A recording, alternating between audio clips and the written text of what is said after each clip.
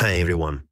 In this video, I'm gonna give you a quick uh, tour over the user interface of Replikant.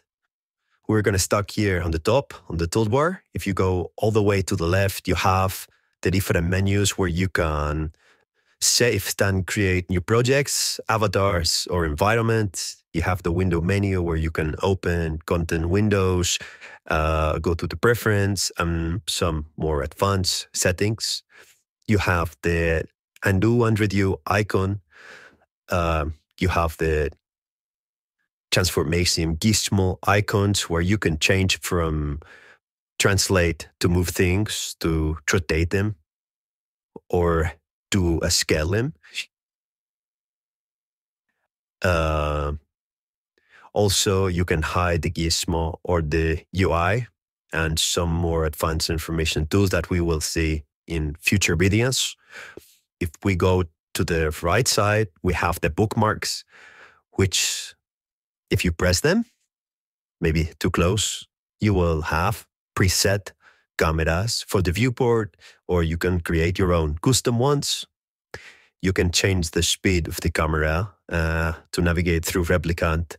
You have two performance icon. This will lower the graphic settings, so you will have a smoother experience while you're working with your character, your environment. You can at least go back to the uh, this quality option. Then you can hide any groom or head asset. Uh, for also better performance, you can override some animations for your character so you can test the different things uh, without going to the animation section. And you can freeze all animations, as you can see. They cannot move anymore. So this is the top bar. There is a few settings that we will look in the future, but those are the basics. If we go to the bottom part, here in the middle of section, you would see a set of uh, icons. Those are workspaces. They are uh, tailor uh, made for a specific task, like creating the scenes, lighting, or the scripts, uh, mockups, animation. Everything is squished to be savable. Uh, you can change and rearrange anything as you please, but we have tailored this experience as we think is the best way.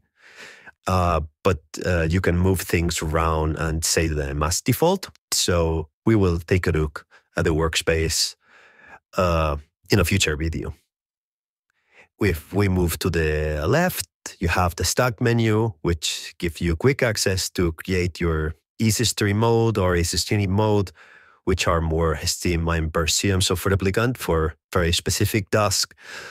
Mm, you can open your and projects, create new projects, uh, everything in a simplify UI.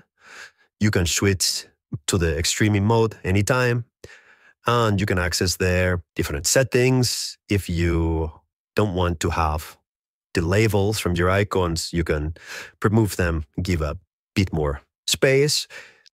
And here on the right, you have your Replikant tokens for some of the tasks that you can perform within Replikant that will go as tokens and also see the connection established with the server.